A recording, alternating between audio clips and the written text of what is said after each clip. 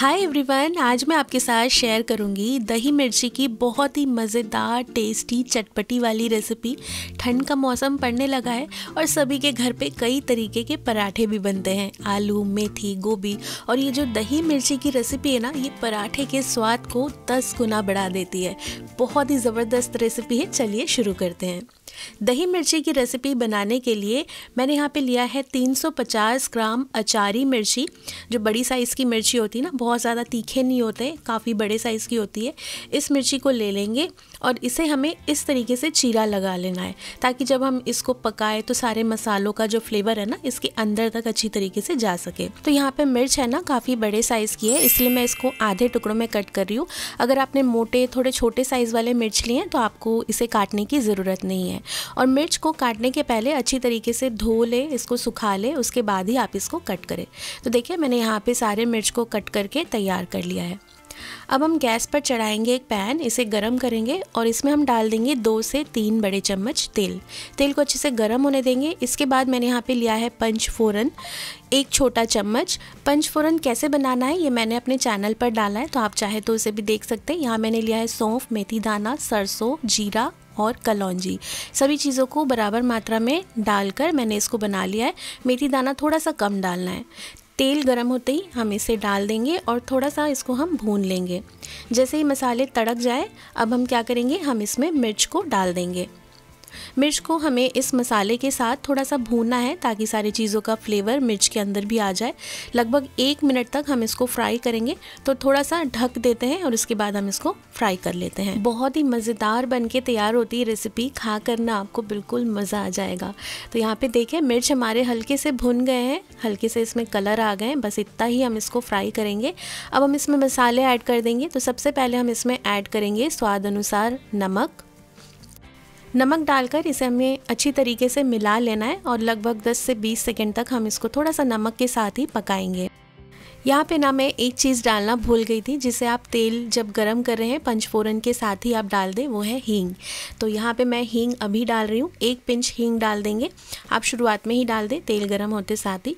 हींग डालने से ना बहुत ही बढ़िया एक अचारी सा फ्लेवर आता है, बहुत ही टेस्टी लगती है। अब हम इसमें मसाले ऐड कर देंगे, आधा छोटा चम्मच जीरा पाउडर, तीन चौथाई छोटा चम्मच धनिया पाउडर, तीन चौथाई छोटा चम्मच कश्मीरी लाल मिर्च, ये तीखा नहीं होता है, बढ़िया कलर आएगा।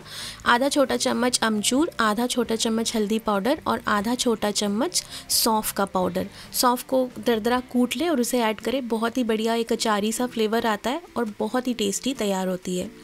गैस की आँच को आप धीमा कर दें और इसके बाद इसको अच्छी तरीके से हमें चलाते हुए मिक्स करना है। तो यहाँ पे मसाले मिक्स हो गए हैं। गैस बिल्कुल धीमा कर दें और इस समय हम इसमें ऐड कर देंगे दही। तीन बड़े चम्मच हम इसमें दही ऐड कर देंगे। अच्छा यहाँ पे अगर आपने खट्टी वाली दही ली है तो अमचूर थोड़ा सा आप कम भी डाल सकते हैं, लेकिन अगर आपकी दही खट्टी नहीं है तो आप अमचूर की क्वांटिटी को थोड़ा सा बढ़ा भी सकते हैं। रेसिपी हल्की सी खट्टी खट्टी बनती है ना तो ज़्यादा स्वाद की लगती है।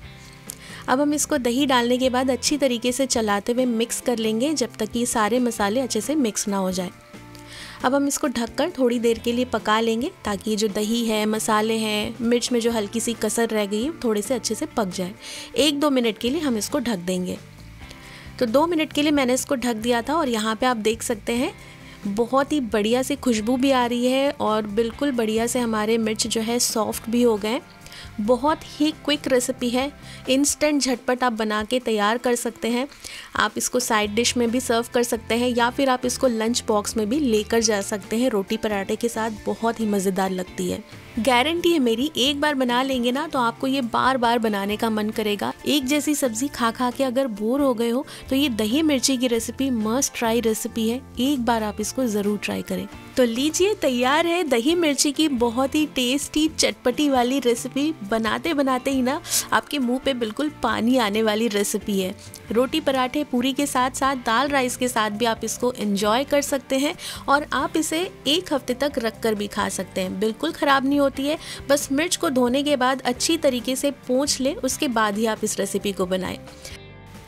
तो मैं इसको एंजॉय कर रही हूँ गर्मा गर्म पराठे के साथ। बहुत ही यमी बहुत ही टेस्टी चटपटी और बहुत ही ज़बरदस्त बनी है। आप इसे ज़रूर ट्राई करें और अगर आज की रेसिपी आपको अच्छी लगी हो तो प्लीज़ वीडियो को लाइक और शेयर ज़रूर करें।